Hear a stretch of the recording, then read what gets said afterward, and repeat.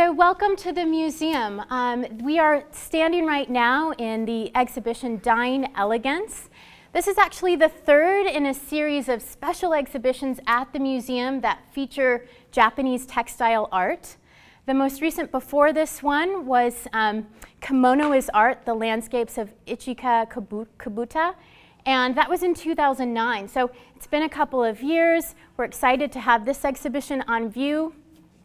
Each exhibition that we do is special in its own right. And one of the things that I think is most special about this exhibition is that the work that you see around us is the work of two artists. And even more special is these artists are a father and a daughter team. And these artists are from Japan. In fact, all of the work, or most of it that you see here, has not been exhibited outside of Japan until this exhibition. And some of the pieces were actually specifically created for this exhibition. I'll point them out when we get into more specifics when we enter the next room. But first I want you to take a look around. Just feel free to stay standing where you are, but use your eyes just to wander around the room. The work that you see on the walls right now is the work of the first artist, the father of the team. And his name is Kabuko Takaku. And Kabuko, he um, was actually an artist who was born in 1908, so an early 20th century artist, 1908 in a small town just outside of Tokyo. And as a young man, he realized he had an interest in art, and so he became an apprentice under a master textile artist. And through that education, he learned a lot of processes in working with textiles. And through his education, he gained a special interest in traditional techniques. And what he did is he sort of resurrected and reinvented a particular technique, um, indigenous Japanese wax resist dyeing which is what you see used around us. So this technique I'm going to talk more specifically about in a second. It's a challenging, challenging technique, and I can't emphasize that enough. What I hope when I've described it in full is that it gives you a further appreciation for the type of time and effort that's gone into each of the works that we see around us. Not only was he interested in sort of making this traditional technique current, but he was also interested in current art. So he was an early 20th century artist. He was interested in what his contemporaries were doing. He was looking at the work that was happening in Europe. So early 20th century, we're talking about modern art. We're talking about movements like Cubism. So as you look around you, if you're familiar with Cubist art, works by artists like Picasso and Braque, you can probably see that influence, especially in the piece to my right. But in terms of his process, as I said, it was traditional but it was challenging. And let me quickly describe it. Um, for those of you who are familiar with the process of batik, it's similar to the Indonesian fabric dyeing process of batik, but it actually has more challenges to it. Um, in batik, what you would do is typically you work on silk, and it's pulled taut, and you are drawing with wax. When you are done with your design work, you place it within a bath of dye, and that will color the fabric. Now, this process that Kabuko was using was tougher than that.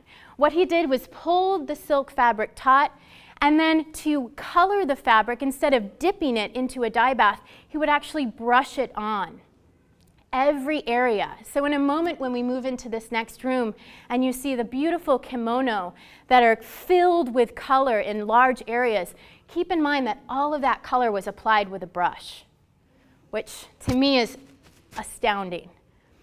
Um, there's also wax, tip, like batik, wax is used in this process, but in this case, it's used more as a sort of a force field, a barrier, within which the dye is placed and made into objects and, and pictures. Um, within that dye placement, it's done in sort of a layering system. So if you're familiar with, say, the process of watercolor, think of it like that, these many layers of translucent color that are layered on top. And with those layers, it's given depth and interest. It's such a difficult process because it's done on silk, and silk, quite frankly, is not very forgiving. So if you make a mistake, there's no going back. Now, I mention this because Kabuko had the challenge of trying to find someone to work with him. He wanted an apprentice. He wanted this technique to live on beyond his time. And as I understand it, he had a tough time finding anybody that would stick with it. Fortunately, as luck would have it, he and his wife decided to have a family. And they adopted a three year old girl they named Hisaku. And Hisaku, as she got older, her father introduced this process to her. And fortunately, she took to it, and she was extremely successful in it. So not only did he have his apprentice, but he had a family member who he knew would continue this legacy. So we're actually going to spend the rest of our time right now looking at a series that Hisaku did quite recently, starting in 1988 and just finished a year before this exhibition opened in 2011. Um, before we enter this space and take a look at it, I'll mention that uh, Kaboku was doing all of this work inspired by modern artists, but at the same time, the Japanese culture and government was interested in the work that he was doing and wanted him to pursue kimono art as well um, to tie in further with those traditions. So following World War II, he began working again with kimono. He shared this as well with Hisaku. And so what we're about to look at are kimono. And we're going to look at a series that Hisaku did celebrating the four seasons which is a centuries old tradition in Japanese art. So she's continuing as well another tradition. But she's using the techniques that her father taught her, and she's giving her own take to them as well. So we can start getting our bodies moving a little bit. We'll head into this room and we'll start in this corner here. We're going to do sort of a seasonal cycle around the room.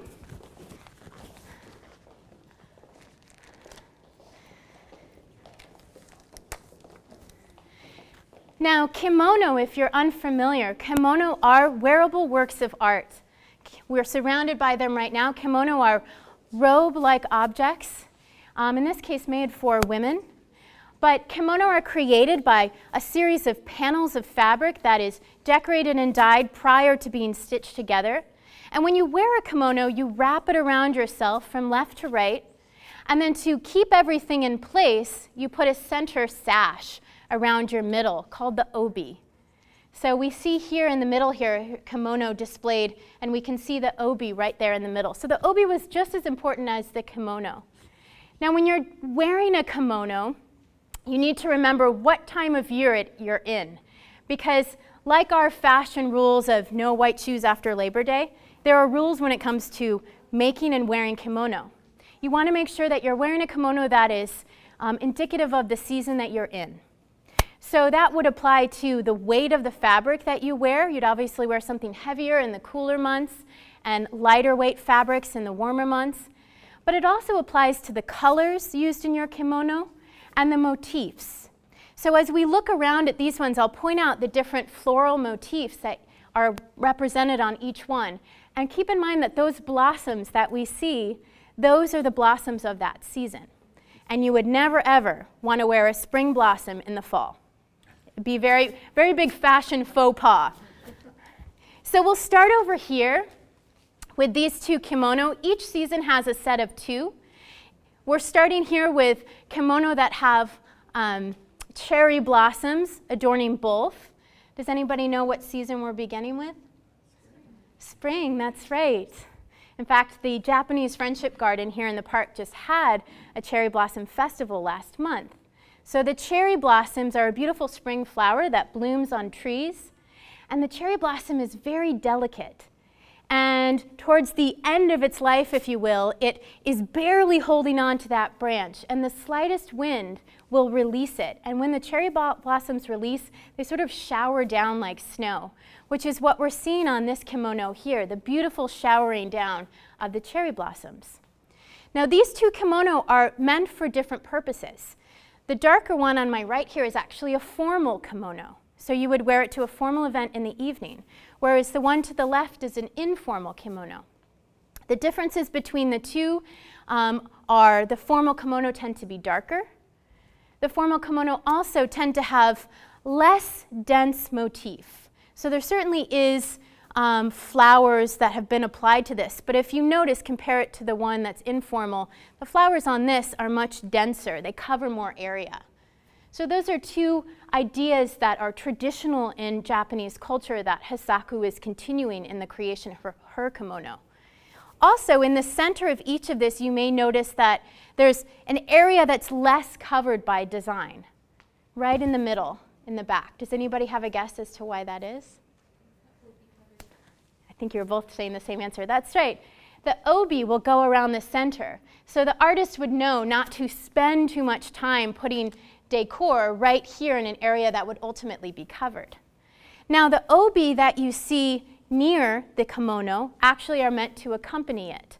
So they've been created to be worn with those particular kimono. And again, just like the kimono, the obi motifs would be specific to that season. So we're finishing up spring and we'll move over to the summer. The summertime in Japan, as here, is a warmer time. And so you're not going to want to weigh yourself down with a heavy fabric, fabric. So the fabrics are light and airy. And then in terms of the colors, this is important too. If you notice, the colors are lighter and there's a lot of blue that's being used.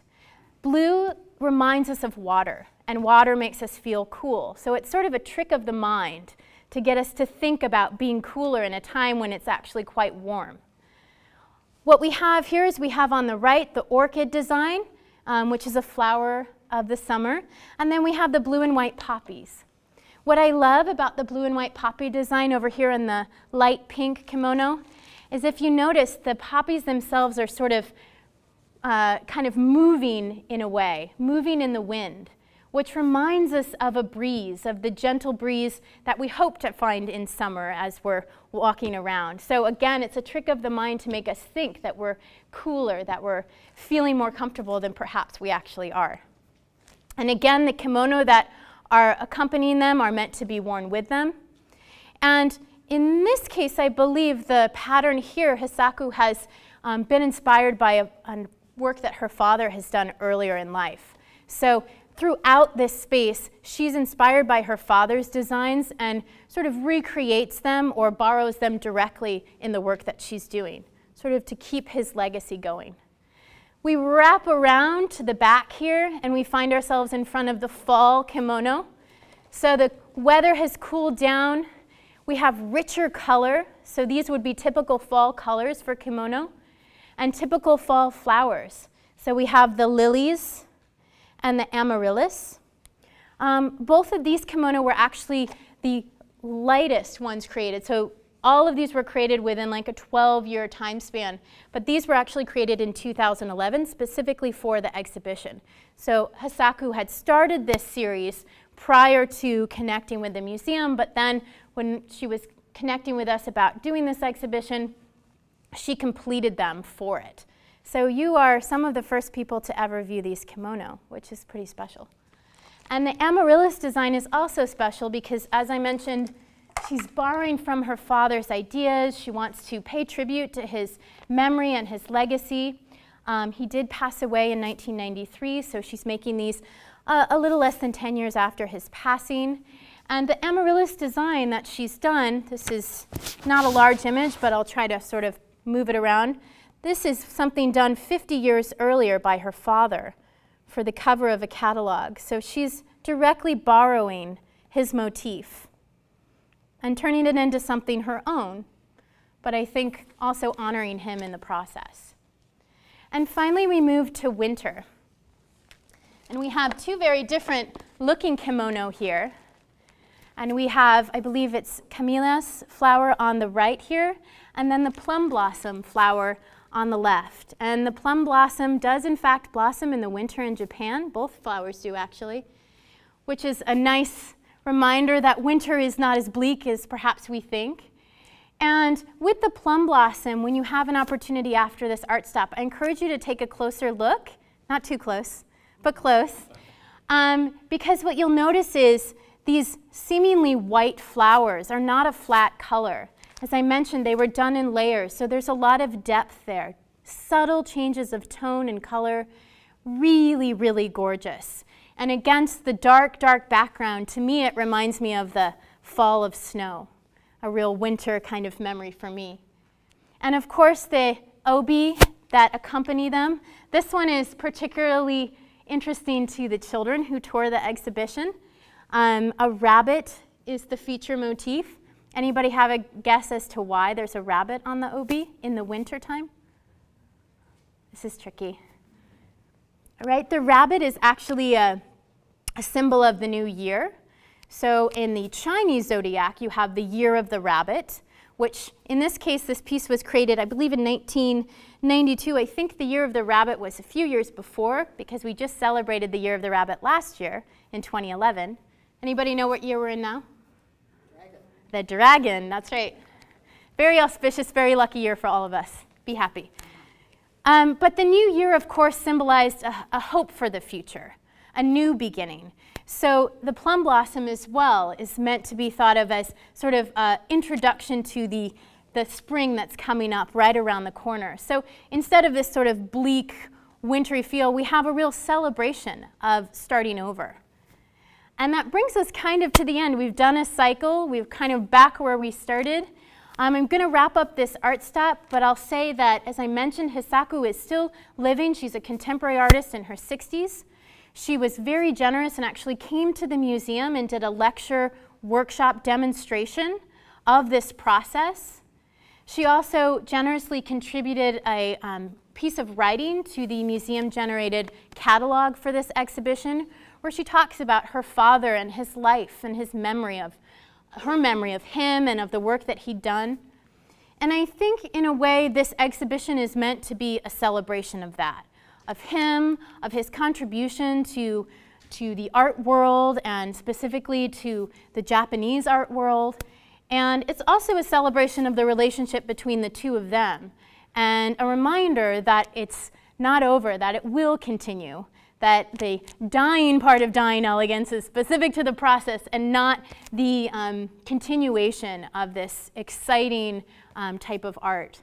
So I encourage you after this to definitely take a closer look. If you're interested in the process, just around the corner is a very nice display that lays it out step by step. There's a video in the corner that shows how kimono are put on the body. And then of course we barely covered a lot of the other beautiful work around here, so please feel free to, to look around and enjoy it. Are there any questions? Yes? Uh, I want to know if she used the same technique as her father in coloring the silk. She did. She did. Um, as I mentioned, she was one of the only people who was successful at, at actually being able to recreate it, which I think must have been very pleasing for her father to have his own daughter be another master of the technique. So she did. So again, the kimono that we see here that are full color, these were all brushed with a brush. These were dyed with a brush, not dipped, which if you've ever worked with watercolor to get an even color like that is very challenging. So she was definitely a master, or is a master of the technique at this point. Any other questions? Thank you so much. I really appreciate all of you joining me, and please feel free to enjoy the rest of the exhibition. Thank you.